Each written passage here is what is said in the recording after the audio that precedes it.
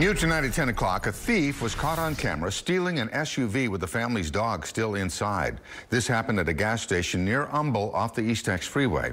Channel 2 anchor Jonathan Martinez joining us live with the family's plea to return their precious pups. Jonathan? Yeah, Bill, and tonight that family is putting up flyers similar to this one across the community in hopes that someone will recognize their pups and get them safely returned to them along with their SUV that was stolen. They're mixed, long-haired chihuahuas. A heartbroken pet owner wipes away tears while in search of her two dogs, Junior and Peanut. They're my everything. I got attached to them. I got really attached to them. I just want them back. Both dogs were stolen along with their SUV early Tuesday morning when Margaret Gonzalez was inside a Shell gas station at Homestead and Old Humble Road. And all he had to do is leave them outside and they would have sat there. They would have waited. In surveillance video, you can see another vehicle parked behind Gonzalez's Tahoe with the hood popped up and seemingly with car trouble.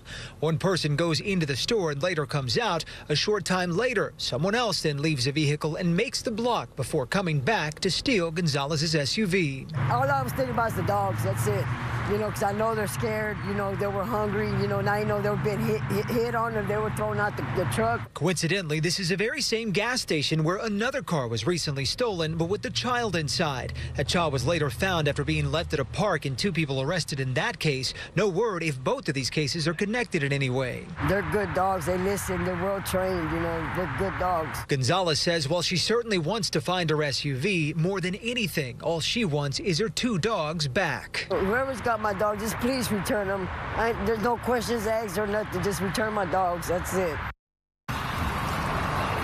And tonight, the family tells us they are offering a reward for the safe return of their dogs. They also tell us that the Harris County Sheriff's Office is investigating this case. Anyone with information is urged to contact authorities. We're reporting live tonight from the city's northeast side. I'm Jonathan Martinez, KPRC, Channel 2 News. Jonathan